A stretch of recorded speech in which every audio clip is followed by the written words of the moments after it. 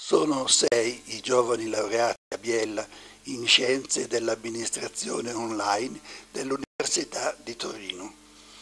A Città Studi, sede universitaria di Biella, si è svolta la prima sessione di laurea.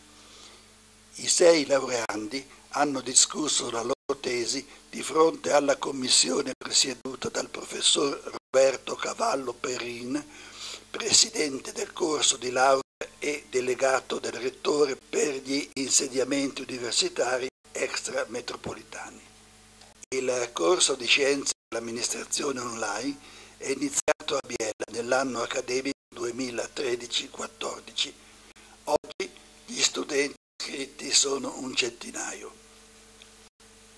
Pieretto Pellerei, presidente di Città Studi, ha affermato che l'attivazione di questo corso di laurea all'interno della nostra sede rappresenta un valore aggiunto del campus universitario e rafforza il rapporto di collaborazione con l'Università degli Studi di Torino.